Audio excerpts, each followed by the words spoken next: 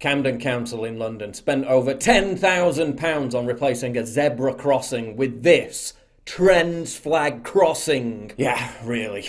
Someone filed a Freedom of Information Act request and got this back today. 10,464 quid to paint some colours on a road. One wasn't enough, there are four of them right next to each other. So did it actually cost 40 grand? 40 fucking grand! Who painted it? Banksy? Doesn't look like it took a great amount of talent. Where's the rest of the money gone? How many freezing homeless people in Camden could have been sheltered for 40 grand? The council deliberately ignored warnings that the crossings are dangerous to the blind, elderly, and disabled people. Both guide dogs and police horses often get spooked by the bright colours. Guide dogs were reportedly confused by the sight of traditional zebra pedestrian crossings repainted in colours that symbolise trans rights.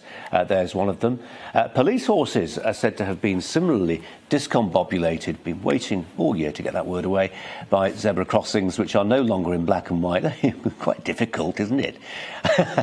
but in the colour of gay pride rainbows. The Department of Transport also warned Camden Council that the woke daubings are not considered official road markings and therefore, quote, have no legal meaning. This is the same council that can't find money to fund safety improvements after the tragic deaths of cyclists. It could also cause serious accidents because some drivers just won't clock that it's a zebra crossing as people are trying to cross the road. But none of that matters because apparently, quote, celebrating transgender awareness is more important. So they're putting people's lives in danger, as well as making the lives of disabled people, people with learning difficulties, and the elderly more difficult, at a cost to the taxpayer of £10,000, if not £40,000. Money that could be sent on actual road safety measures that prevent real accidents. And all for what? To satiate the woke mob. Oh, but political correctness is just being nice to people. No, it isn't, and this is yet another example where it's actually dangerous and harmful to people. Yet more London boroughs will continue to be defaced while ordinary people are left confused, alienated, and endangered.